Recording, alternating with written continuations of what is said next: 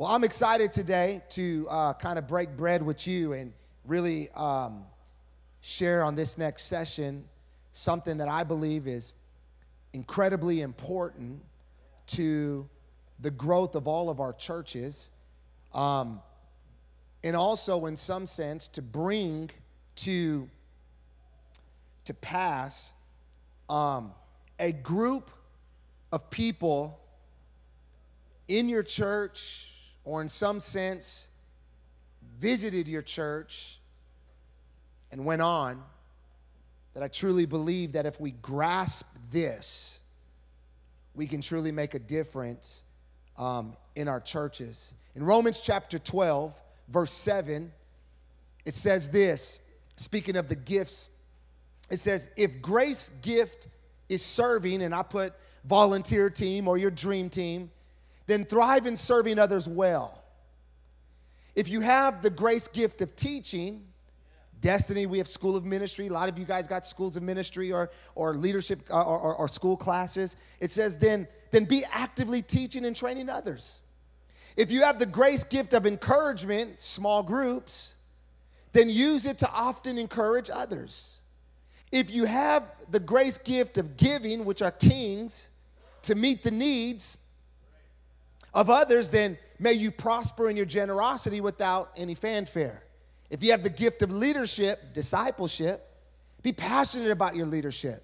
And if you have the gift of showing compassion, outreach, then flourish in your cheerful display of compassion. I want to talk to you today about something that is very that is not talked about a lot in church. And yet this very part of these gifts will determine how far your church goes. We've been, I've been to conferences after conferences, and they have all these breakout classes. Today, Pastor Jeremy is gonna share with us some secrets on small groups and how to grow them, and volunteers on how to build them, how to assimilate them. We love to do outreach. We love to go into our community talking about values. Our values are love God. We want people to love life. We want people to love people. And we want them to love our city. Whatever the campus is, we want you to love that. We have great discipleship. We just believe that everybody should be discipling someone. And so we emphasize that. We preach on that. And what's amazing about reaching people is that we, in some sense, have created a service on how we're to reach the people we're trying to reach. Like, I've never met a pastor that says, Man, I just want a bunch of lights and LED screens just because they're cool. No, I've met a lot of pastors that said, Man, I love some lights and some LED screens and different you know, fog and stuff like that because, man, that may just grab the eye of a person who's far from God and the only and it makes them feel like they're welcome because that's what they saw in the club. I I've seen churches where I've been to where they, they want their people to be filled with the power of God. So, I mean, they're like screaming and, and pounding, and then you come up to the altar and they slap you and you go down, and then they tell you to get up and you go down again. And churches, man, that we have churches today that we've created, in some sense, environments where, man, we want people to thrive in, in serving in small groups. See, the atmosphere we create will result in the people we attract. That the atmosphere we create will result in the people we attract. Now, there's nothing wrong with, with attracting broken people. We're called to. It's nothing wrong attracting lost people because we're called to. There's nothing wrong with attracting hurting people because we're called to. And yet, when we create our environments to just reach lost people and hurting people and broken people, they'll serve. They'll get plugged into small groups. They love to do outreach. But at the end of the day, the church is missing out on a small group of people that can take your vision further than them. I want to talk to you today about kings. How to attract kings in your church. People think, oh, well, if I attract business people and kings, man, I, I got to change things the, the way we do things. Well, that didn't stop you from changing things that you used to do by wanting to attract lost people or hurting people. Oh, well, you know, I got to water things down. No, no, I don't got to water things down. See, at the end of the day, none of us control the spirit, but we do control the environment. There's a big difference between controlling the spirit and controlling the environment. I like to tell people all the time that, that I'm not a controlling person, but I'm in control. That's difference. We're not gonna have people run around in our church. That ain't gonna happen. We're not gonna have people screaming real loud, being a distraction. That's not gonna happen. They will, we will politely go to them and say, We love your enthusiasm and we love your passion, okay? But we don't do that here. The same way your kids will yell out in the house will be the same reaction people will get when someone yells in your church. Something's happening. I'm scared. Did something take place? If we're making our environment and our culture conducive to reaching lost people and reaching broken people and reaching hurting people, we must equally make it as conducive of reaching kings. And this is why we have a broke church. And the reason why we have a broke church is because people that can write you a check don't feel comfortable in your place. If you're always just talking about brokenness and you're always talking about hurting and you're always talking about the victim becoming a victor and using all this great language, but you're not focusing your message on how to live successful, on how to live on the other side of the Jordan, because you're still trying to get people across the Jordan, then they don't relate to that. See, the Bible talks about it in Revelation chapter 5. It says, To him who loved us and washed us from our sins in his own blood and has made us kings and priests to his God and the Father, to him glory and dominion forever and ever. Amen. So here's what you have to understand every king needs a priest. Every king needs a priest. See, the priest in which you are are assigned to give God given revelation. That's what a priest does. It gives, it distributes God given revelation. But a king, their responsibility is that they have been given God given talent. Imagine having your church filled with revelation but no talent. We're a word church. We preach the word, but nothing gets done. The mission ain't advancing. Man, we got a lot of people getting saved, but we don't got no money to hire staff. Here's what you have to understand a king without a priest will cast their purpose into poverty. I'm gonna say that one more time. A king, a businesswoman, a businessman without a priest will cast their purpose into poverty. They're, they're buying five homes because they got nowhere else to put their money. They're buying all these cars because they don't feel that the church in which they're sitting in is investing well. Here's what you have to understand to understand kings is to understand the poverty of their purpose.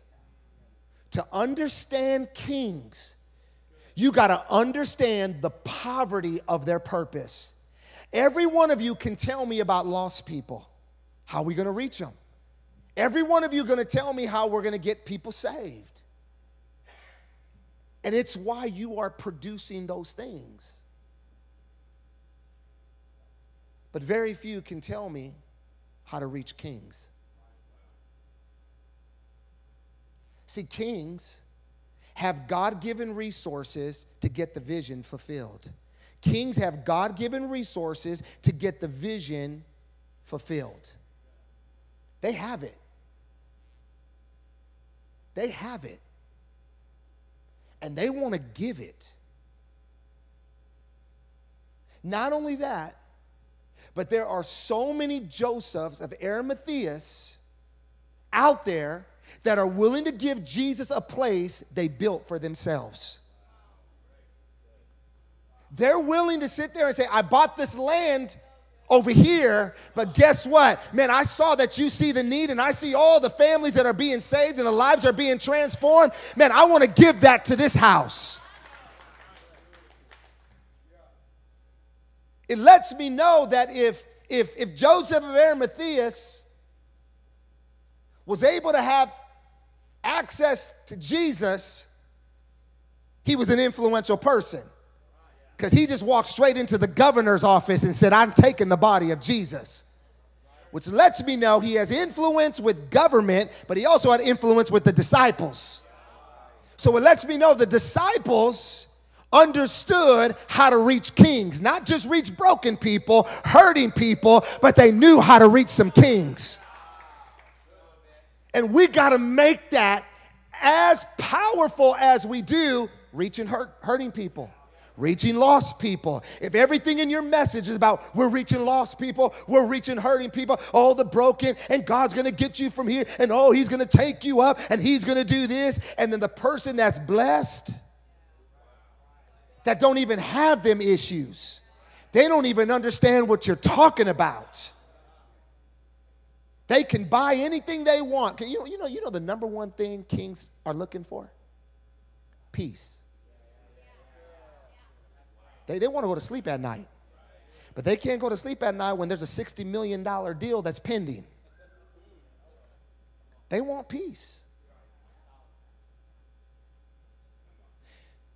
What you have to understand is that the gospel is for the broken and for the blessed. And if all you are preaching is a broken gospel, then you are alienating the people that God has assigned to your house to write you the check that's necessary to advance the vision God placed in your life. And let me tell you, this has been a mass cultural shift in our church. I'm talking down to the way we dress. Like, you don't get on my platform if you don't have a blazer on. Because our calling is from heaven.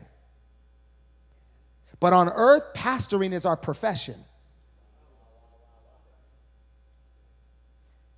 Ain't no but no no businessman that's handling a hundred million dollars want to introduce his partner who has $50 million in that to a pastor on Sunday wearing ripped jeans. It ain't gonna happen. It's one thing to be cool, but it's it's going to chase, it, it, you're going to reach the yet next generation. It's great. But you better have your iron, you better have your shirt ironed. Come on, you better have a nice stiff, you better have a nice car. You better present yourself well because none of you would step into a meeting to buy a $7 million building with some of the way you guys dress on your platform. You got to ask yourself that question Is my life presentable? the way I'm dressed? Is it presentable? Is, is it attractive to that person? Come on, I know it's gonna hurt, but I'm gonna help you. Because I talk to so many of you guys, and you're just like, man, we got these big dreams and we don't got no money. I'm gonna teach you how to get some money. Let me tell you what impresses kings your heart is what impresses kings. Your humility is what impresses kings. and your honor is what impresses kings. They don't really need, they don't really, you can't really sell them on what you have because what you have is very minimal to what they have. Can't go around them and go, oh man, we're, we're going to build a $20 million facility. And they're like, that's just one building I own. You ain't going to win them that way. Your humility does, your honor does, your heart does. Every single day, every minute of the day, every text they get is from somebody that wants something from them. And they need to know, they need to know that the only thing you want from them is their heart. I meet with kings on Wednesdays and Fridays. My Wednesday group, which is tomorrow morning, 7 in the morning, that group will do $1 billion of business here in the desert. Some of the most influential people in the desert every Wednesday morning. Every Friday morning, some of the most influential business owners own mega businesses right here in the desert. I've never asked them for one thing. I never allow them to pay for my meal. Matter of fact, I'd give the, I'd give the person the card before I walk in. Matter of fact, just two weeks ago, I was at breakfast with one of them, and he walked up to the person and tried to give me his American Express card. And he was like, Are you with Pastor? And he was like, Yeah. He goes, He beat you. He comes back, You can't do this. And I look, What do you mean I can't do this? Do you mean I can't afford it? Oh, no, no, I know you can afford, but you can't do this. I said, No, I, I don't have to do this. I want to do this. Because every time you take someone to lunch, you're flipping the bill. Now let me bless you.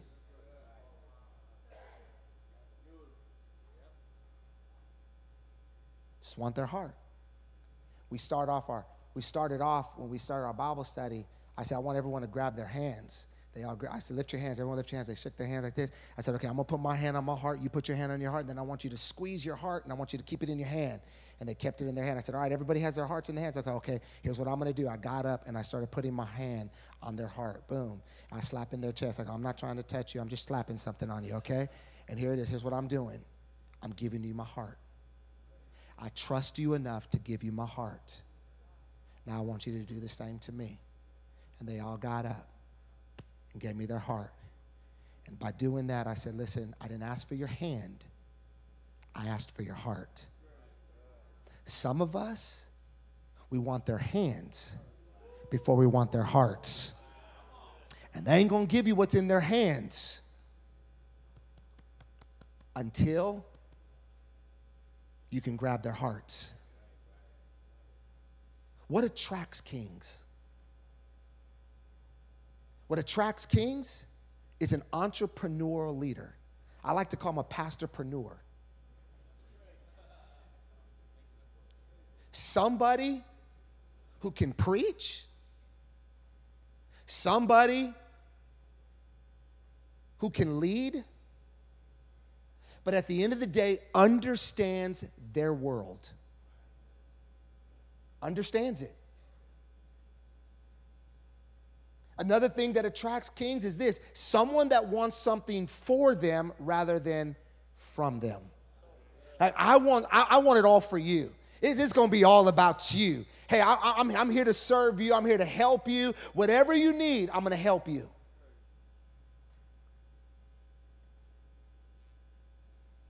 What attracts kings to you is someone who adds value to their life.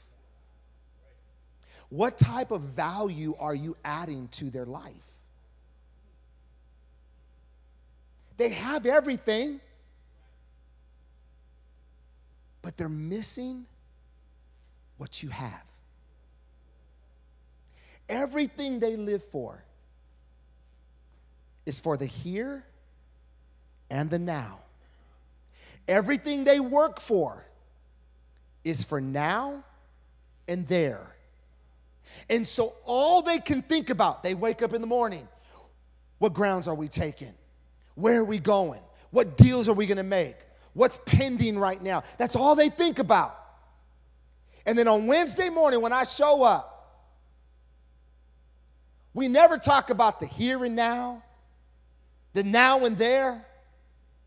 I place their thinking on something that is extremely bigger than that, and it's called eternity. We're gonna get eternally focused. We're gonna focus on making an eternal difference. In other words, here on earth, man, you're taking all this territory, man. You're buying all these buildings, man. You no, no, no. It's all great. But what's bigger than that is making an eternal focus. When they start to think about the condition of their soul, they start thinking about the condition of their heart. They start thinking about, man, I'm gonna live longer there than I'm gonna live here. And here's and here's the difference. They are great here, but we are great there. And so I'm not trying to go in there and convince them that I got a lot of vision like them, that I got a lot of a lot of business skills like them because I'll lose every time. At the end of the day, when I walk in, they have something that most people want. But the reason why they show up every week is because they have some they want something that I got. I got peace in the morning. I love my wife. My kids are being raised up in godly ways. Listen, I can sleep at night. And they're attracted to that. And that's not what you're doing on earth, it's making an eternal impact. Man, everything I think about every day is souls. Every day I think I think about their. Ch- Man, we were in Joshua chapter uh, uh, uh, 15 La- last week. We're going through the book of Joshua, and we were in the book of jo- Joshua chapter 15, verse by verse, line upon line, precept upon precept, and and and and and, and it was when when when when when Caleb's daughter went up to Joshua and says, you know, you owe you owe you, you know, I got to get my portion, and Caleb gave the portion to his daughter. And when, when it was time for me to pray, I prayed for all their children. The eyes got watery. And I said, You will be successful daddies. Your children will grow up and love you and your wife and love God. And I'm weeping in that room, in a boardroom. The presence of God is there. How many of their employees ever walk up and say, Man, I, I want the best for your children? Nobody does it. Only those who have an eternal focus on something bigger than what they're going on today. Doors that Lisette and I have been knocking on and like standing in front like little poor little pastors. Let us in. We want to get into this world, want to influence it. These guys have keys to it. Come on. We're going. Come on, I'm going to take you. I'm going to introduce you to. No, no. And every time they take us around their friends, every one of them says, they can never stop talking about you guys. They never talk. They, I've heard so much. I've heard so much about what how you're impacting his life. I was golfing this past week with a friend of mine, and we were golfing at this this this um, golf course exclusive, and I was I I'd forgotten some balls, so I had to go up back to my car. So I go up to my car and then I, I grab the balls and I come down. One of the guys in my life group who who lives there, his wife was coming out of the gym, just finished up yoga. And I walked up to her and I said, Hey, and I gave her a hug. And she goes, Oh, I'm sweaty. I go, No, it's okay. And, and, and, she, and I said, uh, Man, your husband called me yesterday out of town. And he was, he was ecstatic that he got that contract. And he finally he was able to hire that guy. She goes, I know. And I said, man, we, I said, I said, man, let's just stop right now. We're gonna do a praise break. And she's like, what's a praise break? I said, I know, he asked me that too. I said, It means we stop where we're at and we just gonna give God praise. And he was like, Okay, Pastor, I'm gonna stop and I'm gonna give God praise, but I just want you to know I got two cocktails in my hands. Come on, how many know you gotta love that? And he said, and we praised God, praised God for the person he hired. And she looked at me and her eyes got watery. She says, I just want you to know that my husband and I love you and your wife. We love what you got. Watch this. Whatever you need, whatever you need, you can count on us. I gave her a big hug. I said, Thank you so much. Thank you for letting us golf at your golf. This is a treat. This is amazing. Thank you so much. She begins to walk away. She turns around. She goes, Oh, and oh, by the way, I know the project that you guys are working on. I said, Yeah. She goes, You can count on us. Touched an area in her life, touched an area in their lives. Nobody else is touching. I don't need anything from your hand. I just need your heart. It's all I need. We make an eternal difference. Not only that, we help them with their family when we get involved. Man, every, every, how's your kids doing? How's your son doing? Doing good? I write it on my calendar. Hey, I better text him this week. Son, I text him, hey, your son's having a test this week. So I want to let you know this morning I was praying for him. They write back, thank you so much. Man, Lord, Jesus. You help them with their family. And then also you infuse in them that the church is the place that meets the needs for everyone.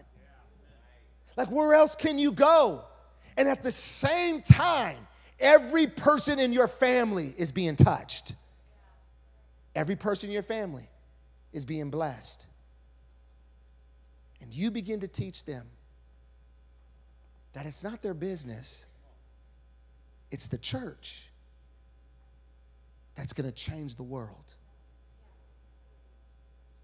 And all of a sudden, they start buying into it. Man, I got somewhere I can invest.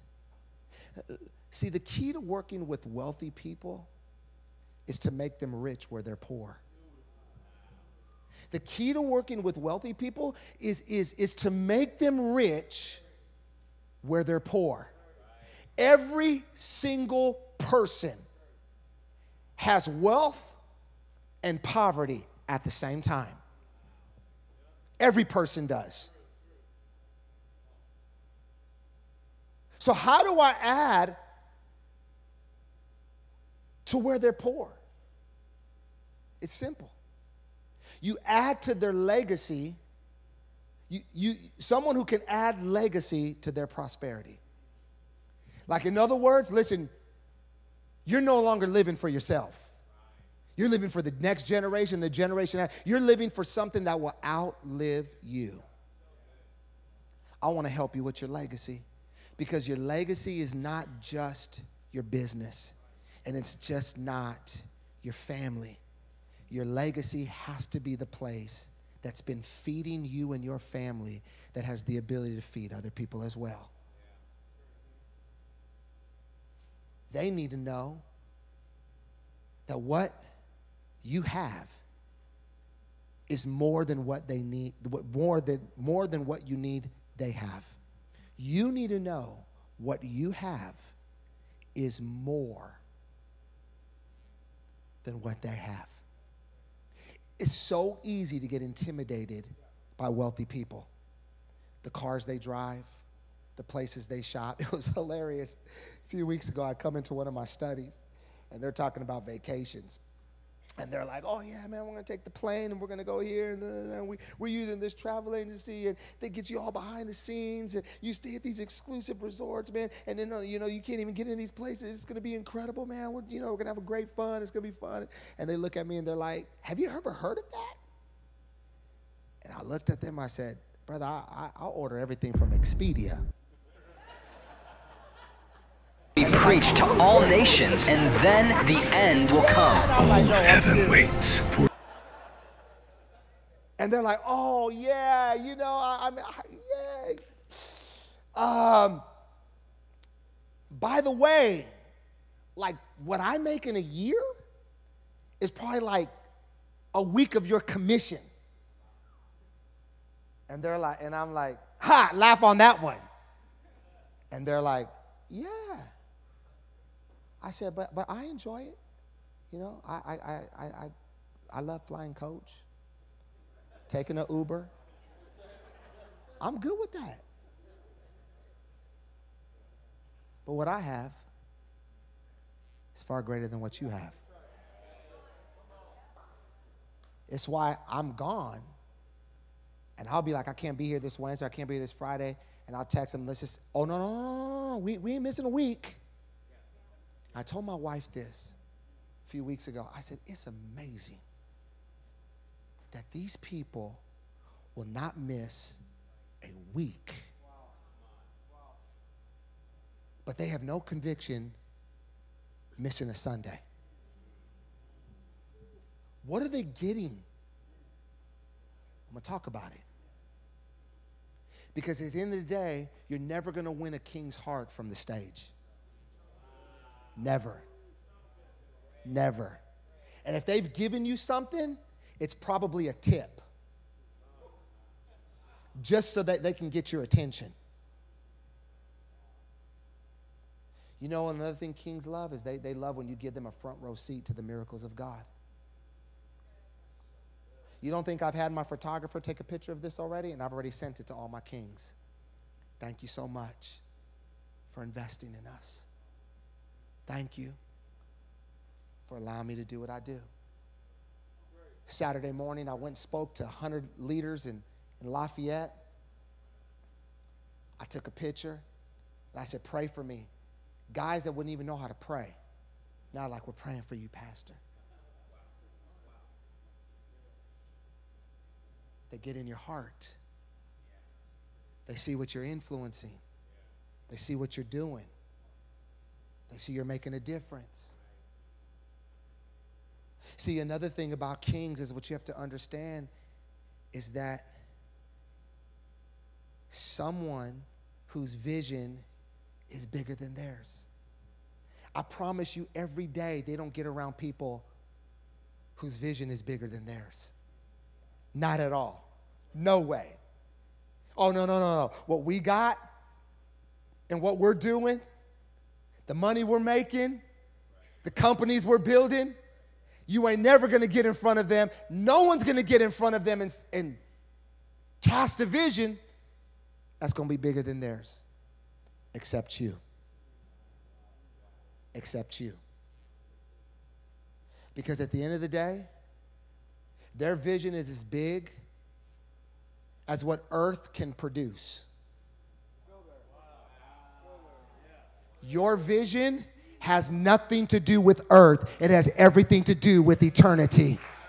Come on, earth is just the place that God uses because our ultimate home is not here. We're taking people somewhere. Hey, we may be assimilating them from here to there, but at the end of the day, that there is to get them closer to there because the day is coming that our Lord and Jesus Christ, the sound of the trumpet will go and the church that is in Christ will be caught up for such a time as this. We are getting them eternally focused. So I never speak about, hey, this is what we're doing at Destiny. Now, that's small to what they deal with all the time. But I always sit there and I always start, before I go, I always say, let me tell you about some eternal impacts we had this week. 19 people in one service gave their heart to Jesus. Man, we had 156 people across our campuses a month ago that got baptized. And they're sitting there and they're like, wow. Because at the end of the day, that vision is bigger than theirs. You're not going to win them on what size of building you want to buy. You're not going to win them on how many people you're, you're not going to win them on that. What you're going to win them on is something that doesn't even happen here. It happens up there. And every day people are getting saved. You got to give them a front row seat to the miracles God's doing. Every week, one of my guys asks me, how many people got saved this week? I'm like, oh yeah. Are you ready? You really ready?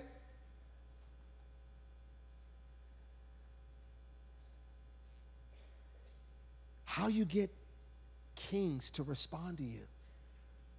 is do you believe this is for eternal cause? See, let me help you out here. They don't care what you drive because they probably drive something better. They really don't care where you live because they probably live somewhere better. They really don't care what you have because it's just a small fraction of what they have. What they care about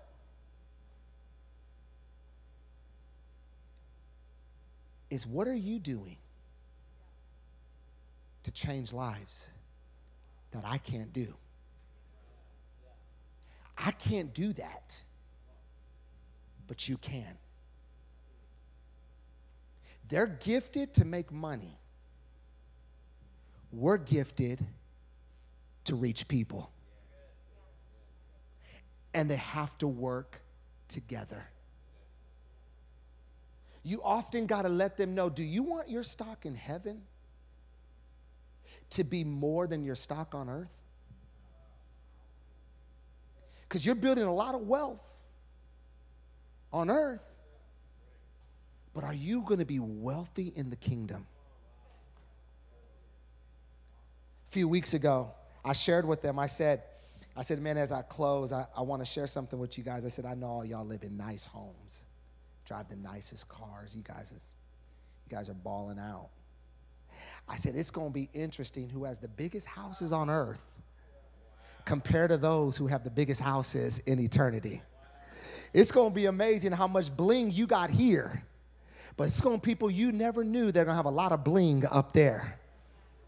And when you start to point them to something that's bigger, that's gonna live longer, that is a better investment, all they wanna know is if what I'm giving you, can you steward it the right way? I love what a few weeks ago I was speaking on poverty and wealth. We're in the book of James and going book by book, chapter by chapter. And I said this I said, um, and you don't have to say it out loud. I'm just going to ask you a question. And the question I asked was Was Jesus rich or was he poor? Was Jesus rich or was he poor? The answer is that he was both. Paul describes it in Corinthians. He says, For you know the grace of our Lord Jesus Christ, that though he was rich, for your sake he became poor, so that those who are in poverty will become rich. So, he who was rich became poor, for those who were poor will become rich. Let me say it like this those who were at the top came to the bottom. So those who are on the bottom can come to the top. And so every time Jesus is referring to money, he's never talking about your economic status.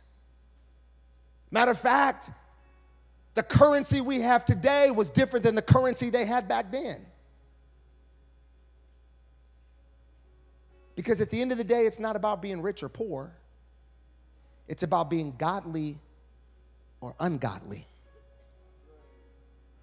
For instance, godly rich, Abraham, Job, Joseph.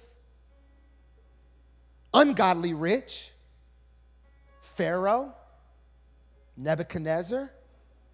What about, what about godly poor? the widow's mite, ungodly poor, lazy people in Proverbs, and those who rob God from the tithe. See, there's a big difference between your net worth and your self worth. Big difference. Your net worth has everything to do economically. It's what, it's, it's what kings live for. They live for that.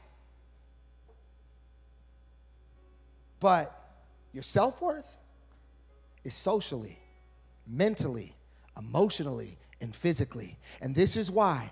This is why a king needs a priest. Here's why because the priest doesn't speak to them economically, the priest speaks to them socially, physically, mentally and emotionally. Because if we can get them emotional stable, if we can get them, watch it, we can get them mentally stable, if we can get them to a place, watch this, if we get to the place where they are spiritually stable, then guess what? Their success is not going to be their demise. But if there's no priest in their life, socially, they begin to lose it. Mentally, they begin to lose it. Emotionally, they start having affairs and addictions. And then it affects them economically. They need to know that you care about their, their mind, their heart, their family. Because at the end of the day, they will give you whatever you need because they have it. They have it. Here are two prayers I pray every day. Every day. God, give us the relationships and the resources to go with the responsibility you've given us. Give us the relationships, we need them. Give us the resources to go with the responsibility you've given us every day. And now here's the next prayer I pray, and I want you to get this. God, please give us the gold, the fish with the gold coin in their mouths. I want you to see this. Watch this. It's the only time in Scripture that a disciple went out fishing without a net.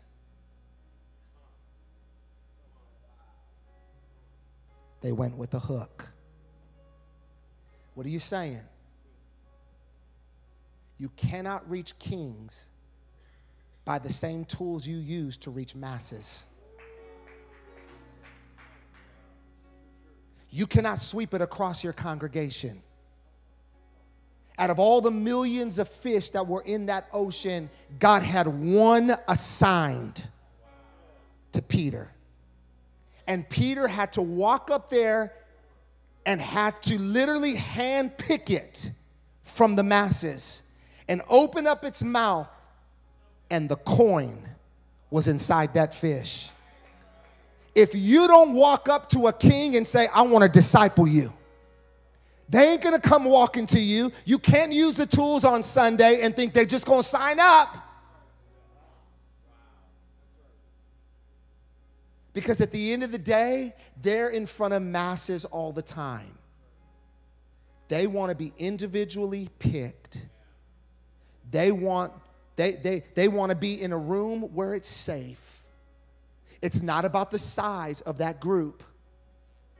Matter of fact, one of the rules I got in these groups is I don't bring anybody to them. I let them bring someone else. Because at the end of the day, whoever they're gonna recommend is at their level and can be trusted. I never wanna bring in somebody that they think I'm bringing in that behind the scenes may have a motive. They're too sacred for me to protect. I spend two days, two mornings a week with kings. I will do it the rest of my life. Because at the end of the day, they have what I need, and I have what they need. And so, with the same emphasis, you're doing to tailor your services to create more dream teamers create more students, create more small groups, do more outreach. Don't forget that one group that's in the middle of those gifts the gifts of giving. Because if you alienate that group, you will not have the resources to advance. And I close with this. I remember I was on the board of a very popular church with a very popular conference. And at that time, that conference was the hottest thing in America in Dallas. And I remember the leader going up there, and there was 4,000 pastors. It was sold out. It was the most unreal conference. Everybody flew into Dallas for that conference. And he went up there and he said this. He says, You'll always have more vision than provision. You'll always have that. And I remember people clapping, and people were like, Yes, God. I was a, I was a consultant at that time, haven't even started church planning. And then when I planted the church, I bought into that lie. You'll always have more vision than provision. Let me, let me just stop there for a moment. You will have more vision than God's provision. Just, just think about that statement because that is a slap to God's face. Let me just stop you right there. So then I searched because I'm a searcher. And I went back to the first time God asked someone to build him a temple and a tabernacle. And his name was Moses. And in the Bible, they call it the law first mentioned. If it's mentioned the first time, that's God's original will. Man, he had so many business people, so many kings, that he had to tell them, hey guys, we got too much. We got more than what we can, we don't even need that. Let, let, send them back. You want to know what God's will is? That you have more provision than you have vision for your life.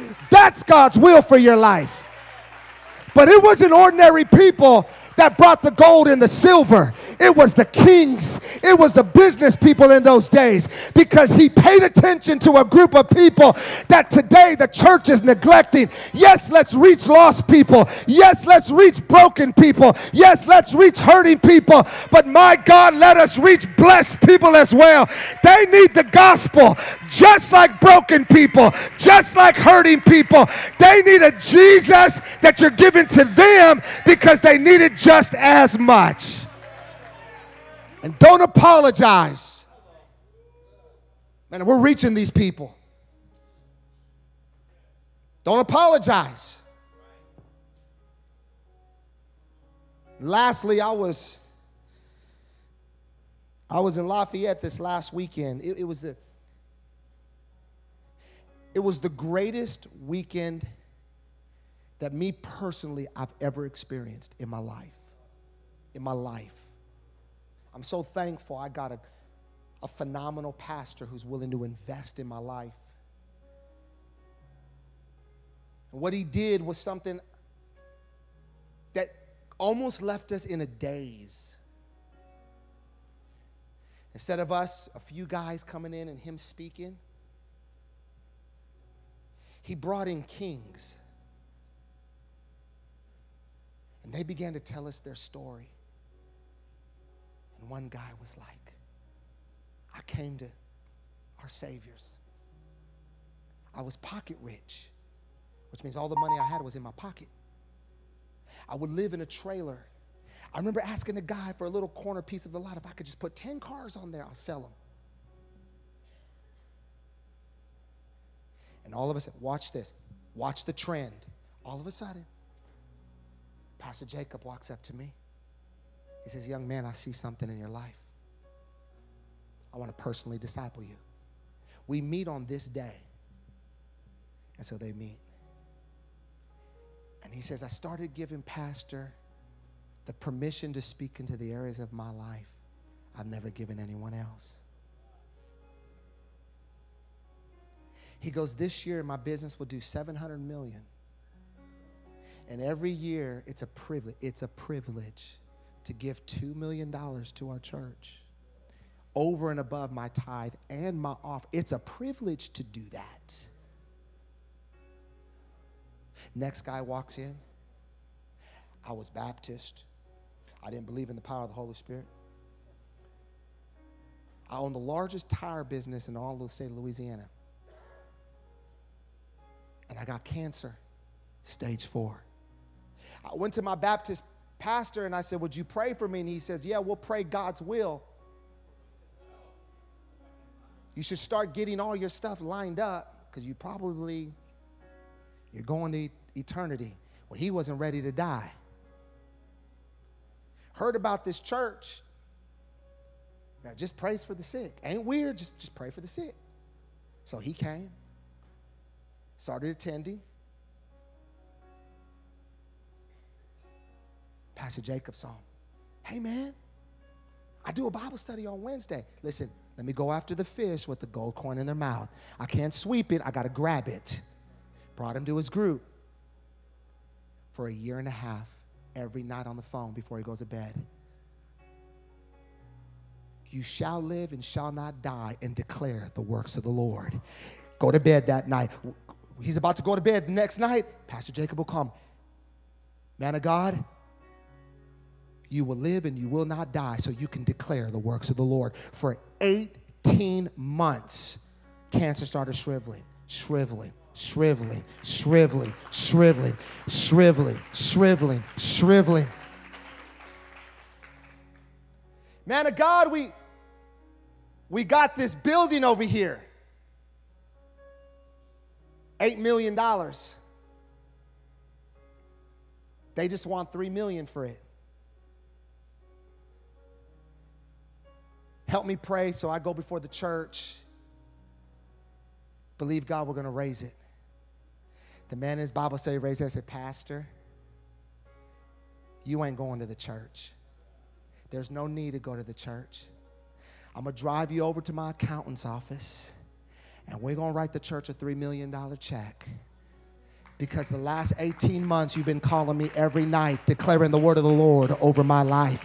You've had me in a Bible study. I've been saved all my life, but the last 18 months I've learned more about God and more about his kingdom and more about things that I've ever could do. I got a reason for my purpose and my prosperity now. I could sow and make dreams a possibility in Jesus name. Then we go to lunch. And at lunch, there's three other kings waiting for us. One guy, he said, I went to seminary.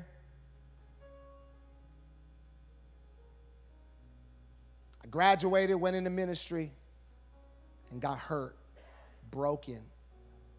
Didn't want nothing to do with ministry no more. Three years later, I walk into our Savior's church. I see a friend of mine that I used to party with and God knows that if he didn't greet me, I probably would have never came back. My friend who happened to be in that little small Bible study, come on, you're, you're, you're starting to see the trend, this little small Bible study, invited me to come. Pastor Jacob started noticing the hurts in my life, started speaking to it, speaking to it, speaking to it. One day there in the Bible study, and that Pastor Jacob starts talking about homes. God's gonna build, build a house, house, house, the house, house, house, house. Came to his thoughts, wrote it down. Two weeks later, he says, I'm gonna um Pastor Jacob speaking, he's talking about the river of God, that God's stirring the gifts inside of you, and the river of God begin to wrote down the word river. A month later, he starts there in the Bible study. Pastor talks about going hunting on this ranch. Wrote down the word ranch. Houses, River Ranch. Joseph knows. It's the most prestigious area in Lafayette. And the guy sitting in front of us who got hurt by a church, went to seminary, built the majority of the homes in there. Today, what do you do? I help men who are hurt by church. I have my own group. Oh, and by the way, I'm one of the kings. I give a million dollars. God gives it to me. So I bless his kingdom. And let me just say this they just don't give to their church. Some of these people have given millions of dollars to other churches that they have asked their pastor, Who do you want us to sow into that you believe?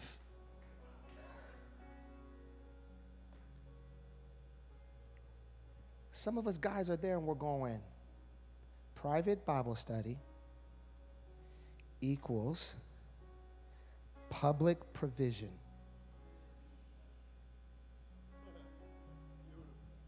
Jesus did it.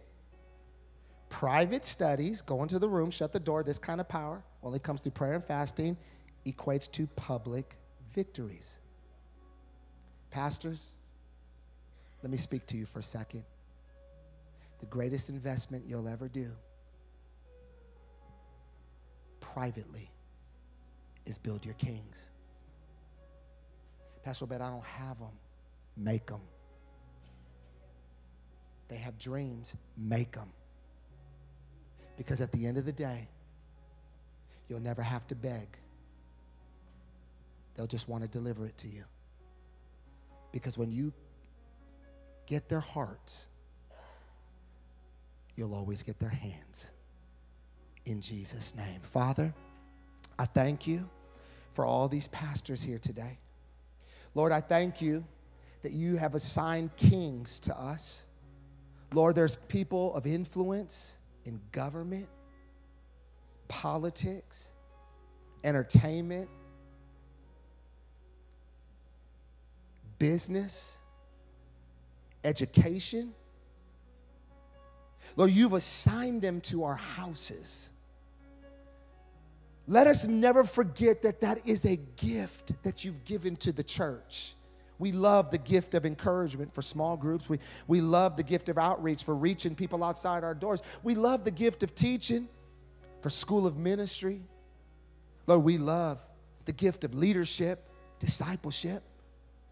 But Lord, help us to gain a greater revelation for the gift of giving. That God, we will have an environment that is safe for kings. Help us to invest with the fish with the gold coin in their mouths. Lord, they're waiting for the right hands to open up in front of them. I bless every church. I bless every provision in Jesus' name that we will lack no good thing. In Jesus' name and all God's people.